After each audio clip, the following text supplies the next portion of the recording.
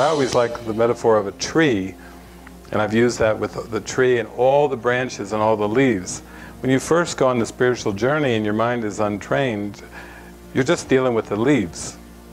It's just a lot of leaves. It's all you've got is leaves. You know, people can come and say, all is God, all is one. Yeah, yeah, yeah. I've got a, a lot of leaves I'm working with here. You know, take your oneness somewhere else. You know, I don't want to hear about the oneness. I've got leaves, practical leaves, leaves I've got to deal with every day. And so, and then you get off of the leaves and you do find that there's little branches underneath. And then as you go follow those branches in, they get bigger and bigger and thicker and thicker until, lo and behold, you finally come to a, a trunk, a single trunk. Oh my God, the zillions of leaves and there's just one trunk underneath them all. And the closer you can come to that, the, the closer you come to forgiveness, which is overlooking the trunk. Of course, the Holy Spirit can overlook the trunk, so the Holy Spirit overlooks the leaves as well. It even says that in the Course. You know, the Holy Spirit looks not to effects. The Holy Spirit looks not at the leaves because He has overlooked, He has overlooked the trunk, He has overlooked their cause. All these myriad effects are coming from an ego cause that isn't a real cause.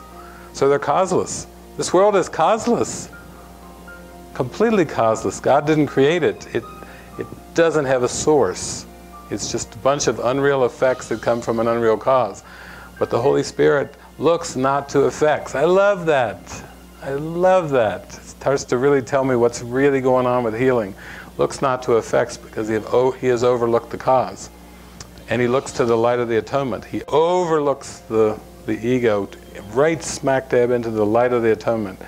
He overlooks the error and, and locks right in on the correction. It's kind of like that movie Groundhog Day. How many times does he step in the, in the hole with the puddle? You know, his foot goes down in there and it, he does it again and he does it again and he does it again. And yet at some point, he's there and he he starts to do it. His foot starts to go down, and he goes, and he pulls it back, and he goes like this, and he hops over the puddle. He has a moment of awareness. It doesn't matter how many times he's, he stepped into the puddle. It's not important anymore how many times he stepped into the puddle. He's aware that there's a puddle there, and he's not going to step into that. And isn't that beautiful? That's, that's when you start to feel the value of, of hopping over you know, that's when you can choose the miracle. You're, you, you can come and overlook the trunk. You don't have to worry about the leaves. And I think, you know, that's what true healing's about.